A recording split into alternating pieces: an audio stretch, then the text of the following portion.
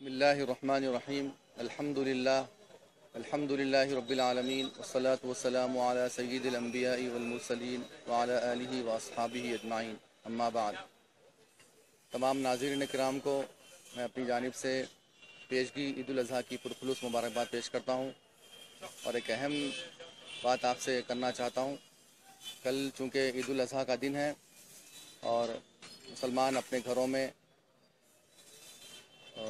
حضرت ابراہیم علیہ السلام کی سنت کو اجاگر کرتے ہیں، عمل میں لاتے ہیں اور قربانی کرتے ہیں۔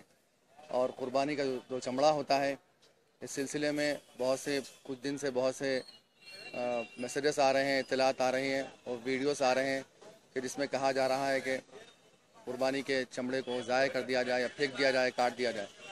دیکھیے، اللہ کے رسول صلی اللہ علیہ وسلم کی حدیث شریف کے حوالے سے میں عرض کرنا چاہ رہا ہوں کہ کوئی بھی فائدہ مند چیز کو ضائع کرنا یہ جائز نہیں ہے، درست نہیں ہے۔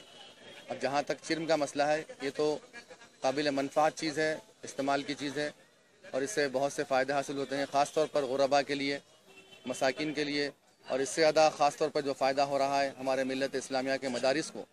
تو میں عام مت المسلمین سے خواہش کرتا ہوں کہ اپنے چرم ہائے قربانی کو ضائع نہ کریں، بلکہ دینی مدارس کو، خاص طور پر جامع نظامیہ جو علوم اسلامیہ کے عظیم دینی درسگاہ ہے اور اس کے علاوہ بھی دیگر مدارس ہیں جو اس کے مستحق ہیں۔ اپنے چرم کو یہ مت سمجھیں کہ اس کی قیمت کم ہے، بلکہ خطرے خطرے سے دریا بنتی ہے۔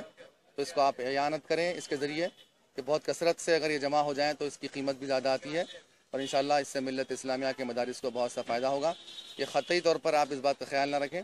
کہ جامع نظامیہ کا ہی فتویٰ ہے اور دیگر مدارس کا بھی فتویٰ ہے یہ کہ اپنے چرم ہائے قربانی کو ضائع مت کریں اس کو کاٹیں نہیں، بلکہ کتنی بھی قیمت ہو، اس کی کم سے کم قیمت ہو۔ اس کو بہت ہی کثرت کے ساتھ جمع کرتے ہوئے اس کو اپنے مدارس کو اعانت کریں۔ کیونکہ یہ ملت اسلامیہ کے مدارس ہیں، دینی مدارس ہیں۔ یہ آپ ہم سب کے لیے ایک ذریعہ خیر ہے اس کی اعانت جتنی بھی کم کی جائے کم ہے۔